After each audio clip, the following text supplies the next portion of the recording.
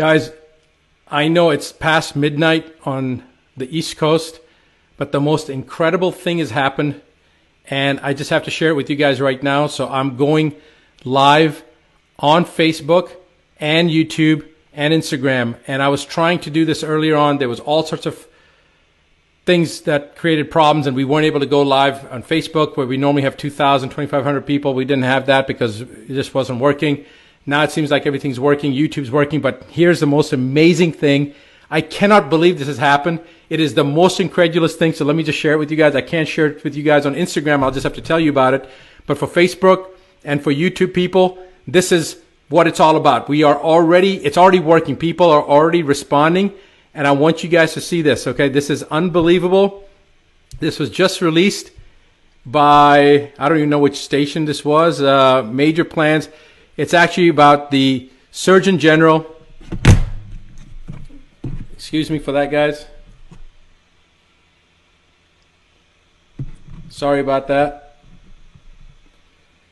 All right, it says in a stunning turn of events, Surgeon General. This was just released uh, a couple of hours ago. I guess I must have been on my live stream, so I wasn't even aware of it. And there's a picture of here. I'll just show you guys from from Instagram, you can see that the picture of President Trump with the President Trump with a smile on his face and the Surgeon General. He just looks like such a stud standing there, but listen to what he said.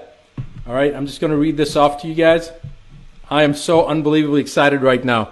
In a stunning change, major plans to reopen, U.S. Surgeon General Adams dumps Gates' predictive contagion model.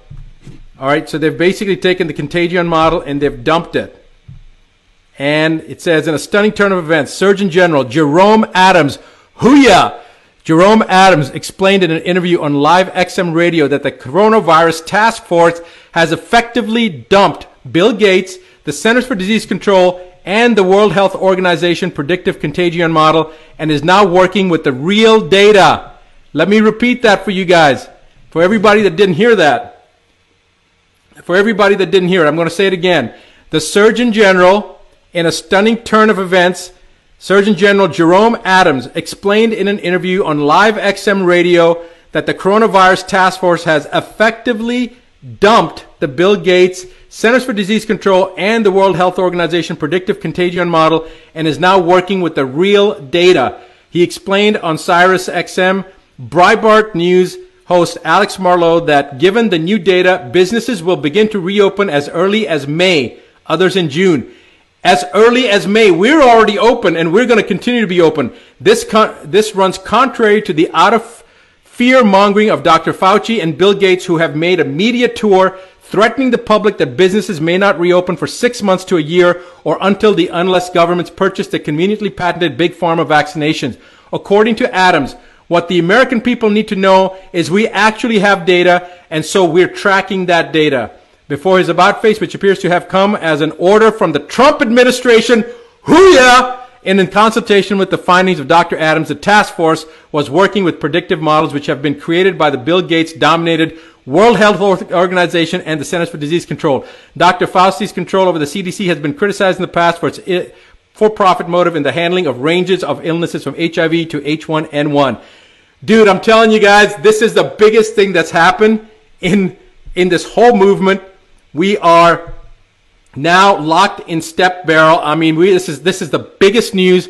So guys, now is the momentum. Everything that we've been saying, everything I've been saying, everything the doctor, the other doctors have been saying, the ones that have been not fear mongering, the ones that are saying fear mongering, stay in your houses, stay 13 feet away from yourself. That's the kind of BS that they just, I can't even, I can't even justify them because if they had any scientific integrity or if they had one freaking synapse, meaning that they were one neuron short of a synapse, they, they would have never said that because everything they were saying was just not based on science. Now, thank God, the Surgeon General, and no matter what you say about President, President Trump, he's just shown that they are moving in the right direction. So this is fantastic news for the country. It's fantastic news for the world and for the rest of the people out there that had their heads so far up. You know, you know what? Tell them that they should never, ever, ever allow themselves to be fear motivated like this.